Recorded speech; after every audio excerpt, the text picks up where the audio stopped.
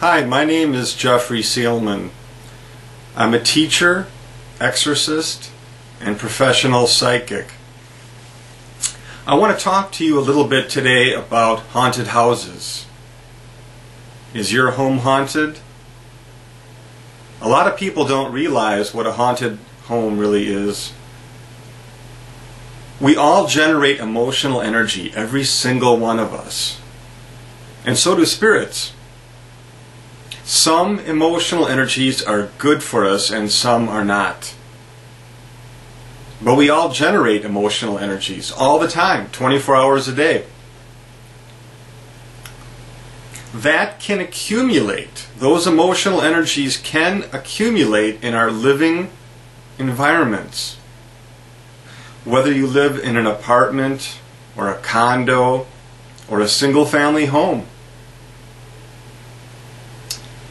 Emotional energy from past occupants and even present occupants can and does affect the emotional energy of your living environment. And that can lead to all sorts of different kinds of problems. Problems with sleep, anxiety, anger, health.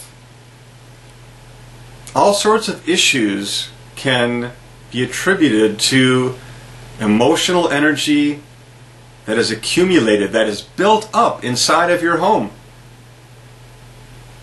over the years, over the decades, depending on how old your home is.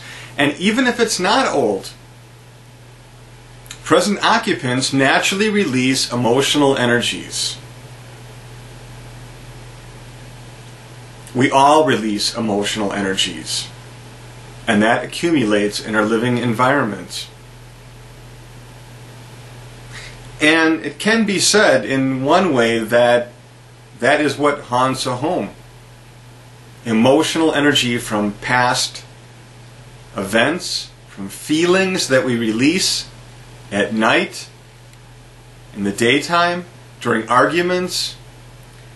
When we think about other people, we also release emotional energies into our environments, wherever we happen to be we release emotional energies. And those emotional energies can affect other people we live around or who visit our home. Apartment, condo, it doesn't matter how big or small your living environment is. We all are susceptible to emotional energies that we generate and other people generate, including our loved ones, in our home. Spirits can also generate emotional energies. If there's enough emotional energy in your home, spirits can actually transmit that emotional energy into your personal energy fields, your body's personal energy fields. If you're not protecting yourself properly, spirits can, and they do, affect people, and they can affect you on an emotional level amplifying your angers and fears, problems with sleep. They can actually interact with us on the dream realm. It's vitally important to keep your home free and clear of emotional energies that are negative, not the positive ones. Love and kindness uh, are good for your environment. But not all emotional energies are good for your environment. Anger, depression, rage, all sorts of feelings that have a corresponding emotional energy to them. And maybe you had nothing to do with that. Maybe former occupants of your home, apartment, or condo have left their emotional energy in your place. You could be living in a sea of emotional energies from other people. Have it cleared.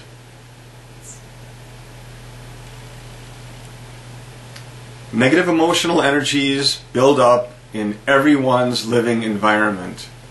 And we need to keep our living environment clear just like we clean the walls and the floors and the windows and everything else in our living environment we need to clear our emotional atmosphere as well. We need to clean it, to clean the emotional atmosphere of our living environment. Don't let someone else's past ruin your future. If you want to get a hold of me, go to www.starclear.com. I'm Jeffrey Seelman. See you next time.